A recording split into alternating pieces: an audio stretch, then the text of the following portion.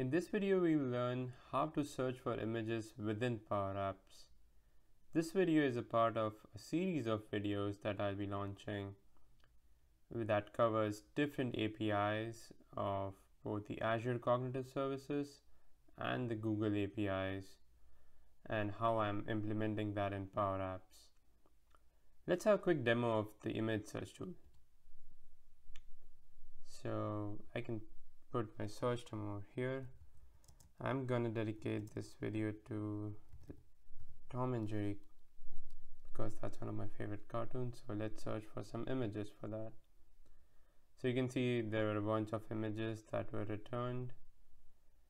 Um, we, we can select some different parameters over here. So I'm gonna look for some animated GIFs. If I'm pronouncing that right, GIF or GIFs, whichever way. Uh, so you can see it returns some animated GIFs, um, some of the funny ones. So, and you can select different things over here. I'm not sure uh, if we'll see some results, but let's see modify commercially and image type all.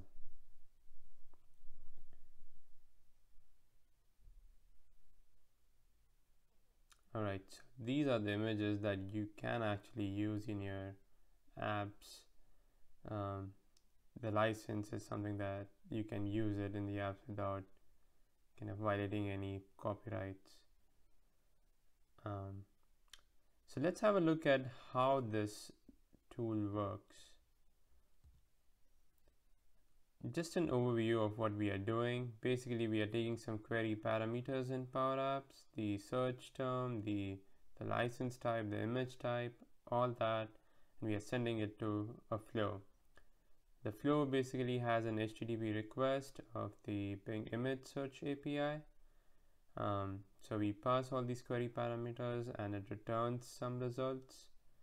We then return that data back to Power Apps with the flow. And then uh, once we have that in Power Apps we just display them in Power Apps. Uh, I've included some links over here so that you can look at the documentation and also the uh, just use the tool that Bing has uh, on their website. So that gives you a better idea of the different kind of filters that you can build So let's have a look at the flow. So the flow basically it's the power apps. Um, uh, that's how we started. You then have an HTTP request um, where we are passing some query parameters that we got from Power Apps like the search terms and the different uh, filters. You specify the key which I'll be regenerating after this video and uh, the next step that you take is you use the request response and uh, use the uh, the result that, that you got from here and send it back to Power Apps. Now if you are not uh, kind of familiar with the way of doing this um, I'll put a link to a video where um, one of my videos where I have shown this in detail and you can have a look at that. Some of the other uh, Power Apps users have also made some videos on that, including a video on Microsoft Flow about it.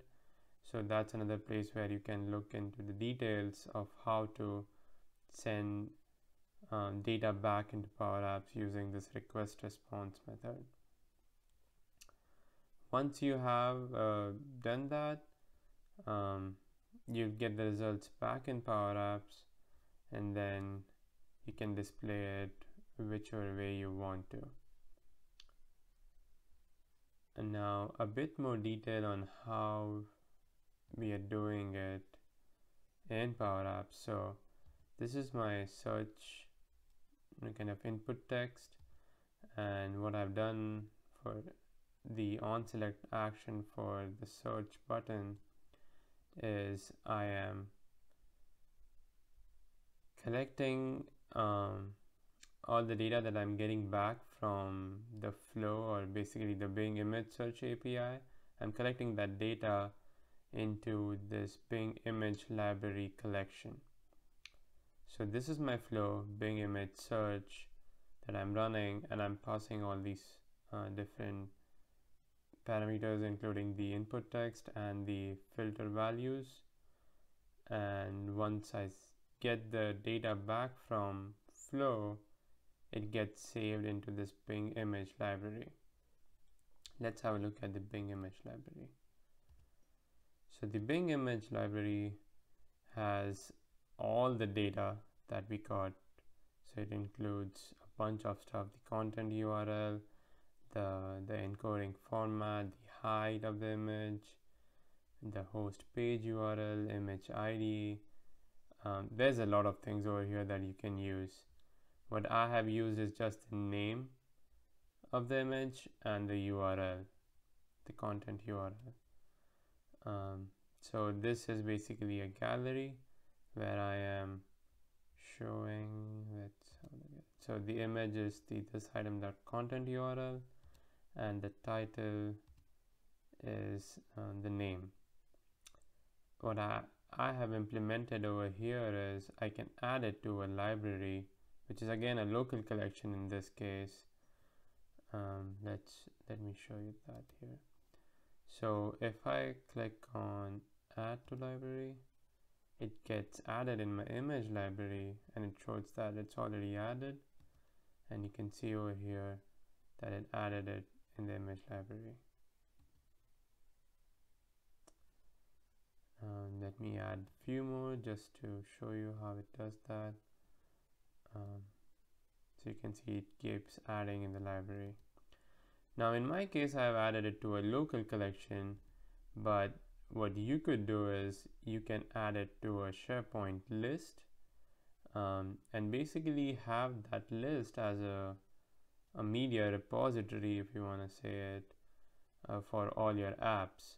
This way you don't have to save images in the media library over here. So there's nothing in here but everything is getting collected in a collection. And if you want you can do that in a SharePoint list so that you can have the name of the image and the URL of the image. Now you need to have internet while using these apps but in some cases and I, I would say in most of the cases your user will have internet. But if if you have like um, offsite people or on the go kind of apps where you might want to have some local storage you might want to think something different. But in case where you're um, having good internet access I would say it would be nice to store all the images and the URLs in one repository so that you can refer it back whenever you want to now so what more can I do in this as I told you you can save the files to SharePoint and keep it as a media library for all your apps. Um, also, you can ask for the file name before you add it to the library. So in this case, I just used the name that was there when I got it from the Bing image search API. But you can ask the user to input some name and then save it to the library.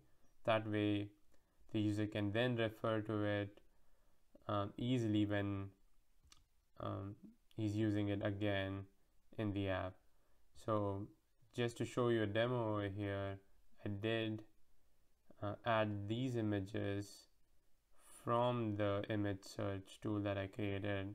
And what I'm doing is I'm just looking up the image library where flow is in the name and then I'm using the URL so these are not images saved in the media library but it's something it's just the URL so it's taking it from the internet. Um, so it it can be used in a lot of different use cases. I would say you you might want to save time going back and forth in Google search and uh, searching. Let me back up. Google search or Bing search and search for images over there. Save it in your local library and then put it in media folder. You probably want to save all those steps uh, by implementing this tool. Now because there is a copy paste option available I would say you can easily just copy this whole thing and just paste it in each of your apps um, that way you you just keep one image search screen where you just search for images and add it to a SharePoint list or whichever repository that you want to use. Um, now, let me give you a quick demo of what you can see in the next videos. Some exciting stuff. Um, so this one is the place search the API that I'm using of Google. So let's search for restaurants in New York.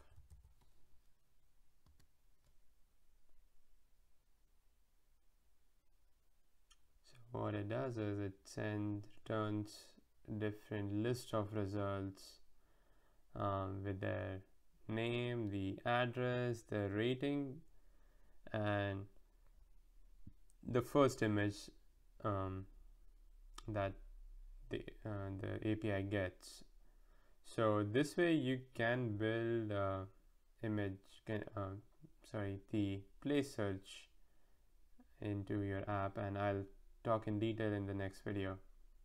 Another demo that I would like to show you is of this.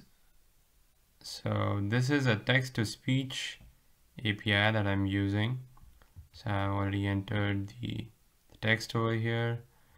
Uh, just so that I can show it again, I'll convert it to audio again. And we can see over here.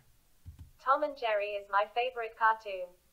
Alright, so as you saw, you you can convert it to audio you can select the language. Right now this one is the UK version so it's a bit of British accent. Um, but yeah you can use any of the languages um, most of the languages I would say and build it to have better accessibility in your apps. Um, we'll talk in detail about that in the next series of videos. Thank you for watching this video. If you liked it please um, like it on down below. Um, share it with uh, whoever you want to. And um, if you have any suggestions any feedback any thoughts please don't forget to add your comments. Thank you again and uh, happy power apping